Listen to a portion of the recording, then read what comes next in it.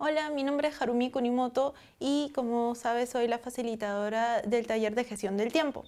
En, este, en esta sesión, en la unidad 6, vamos a ver eh, la técnica y metodología del Getting Things Done, que se trata de eh, un sistema de productividad y administración del tiempo que ayuda a completar tareas y gestionarlas, así también como cumplir compromisos de una forma eficiente y sin estrés mediante un sistema integral de listas y calendarios. Em, quizás en algún momento has podido eh, calendarizar tus actividades, de hecho ahora con el calendar del Meet muchos de nosotros podemos acordarnos de reuniones, clases, de lo que tenemos programado, ¿no? Entonces, em, es una técnica mucho más fácil en el tema de la calendarización de tus actividades. Pero no solamente se trata de eso, sino de poder no solamente hacerte acordar de tus reuniones de trabajo o clases en el tema del ámbito educativo, sino también en tus tareas diarias. Entonces, ¿Cómo se aplica esta técnica? Es en cuatro o cinco pasos, como los quieras ver. Eh, el primer paso, y lo he agrupado en estas dos acciones, que es capturar y aclarar, es poder eh, tener todo. Lo que pasa es que a veces nosotros cuando queremos realizar varias acciones no las ordenamos. Entonces queremos hacerlo incluso eh, todo a un mismo tiempo. Entonces me, me considero una persona multitasking y puedo hacer dos o tres actividades al mismo tiempo y al final no las hago bien o simplemente no las termino. Entonces, lo primero que puedes hacer, ¿no? Es capturar, capturar todas las actividades que tú tienes que hacer en el día y poder ah, plasmarlas y también aclararlas, porque claro, em, de repente tengo tres, cuatro actividades, pero una de ellas es de repente cocinar o, simplemente em, sacar o bañar a mi perro, por ejemplo. Eh, claro, lo voy a poner en mi, en mi lista de prioridades, pero no es algún evento que yo tenga que calendarizar. Entonces, pero por ejemplo, si yo tengo que eh, realizar algún informe o tengo que eh, no sé, tener una entrevista de trabajo o una cita con una compañera, un compañero, este, eso sí lo voy a tener que hacer, ¿no? Entonces recopilas todo lo que te llame la atención en, una herramienta, ya sea un documento o de repente manejan una agenda, ¿no? Eh, puedes ponerlo ahí, plasmarlo ahí. Ahí te vas a dar cuenta que si es una acción que debemos tomar y debemos revisarla ah, con exactitud, o eh, de repente es una idea que se puede realizar en ese momento. El segundo paso es organizar. Debemos marcarlas en un calendario, ¿no? saber si dependemos de alguien más para realizar esta tarea, si es el primer paso de una cadena de acciones que pueden llegar a un objetivo, ¿no? o si es algo urgente, algo prioritario o algo necesario.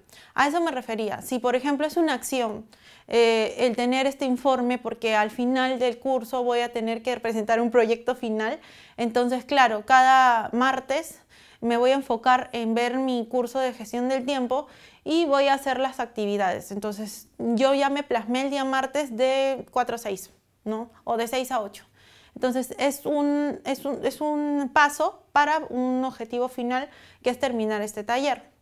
Eh, por otro lado, ¿no? Eh, puedo solicitar algo urgente, por ejemplo, no sé, pues no, mi mamá me dice, por favor, acompáñame al hospital, ese es algo urgente, ¿no? Por hacer y también lo voy a tener que marcar en la lista, ¿no? Eh, o algo necesario que tengo que hacer es, por ejemplo, cocinar porque tengo que almorzar o comer, ¿no?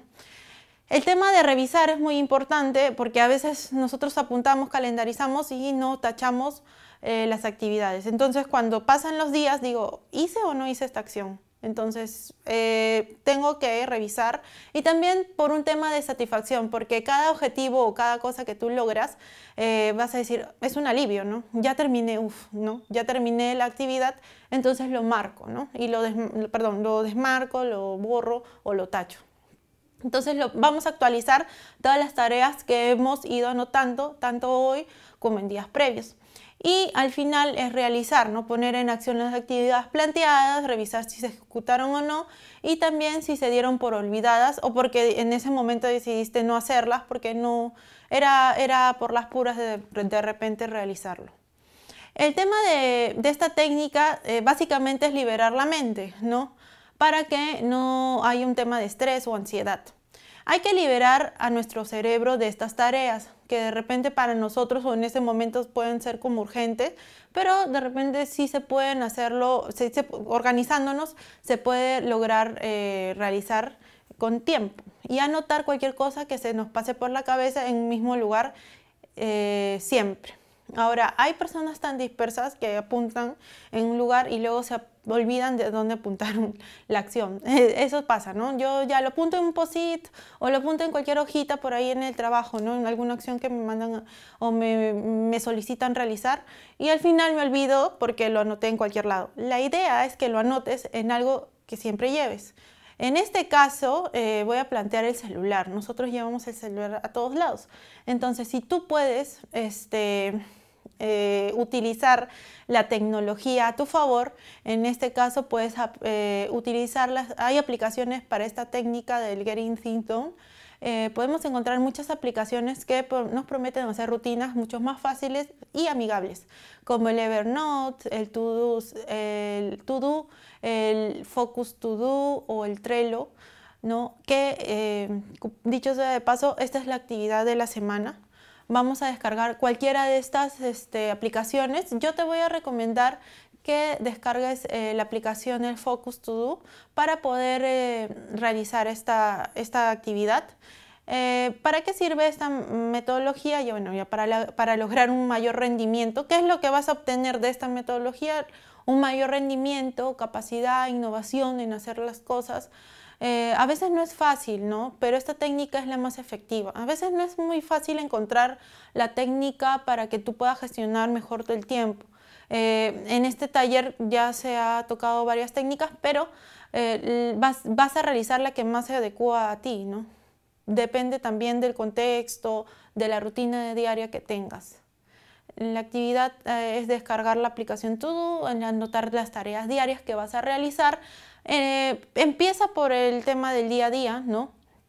Cada vez que termines las tareas no olvides desmarcarlas y bueno, eh, aplicarlo en todos los días, no solamente para esta actividad, sino para aplicarla en tu día a día. Bueno, muchas gracias y nos vemos en una siguiente sesión.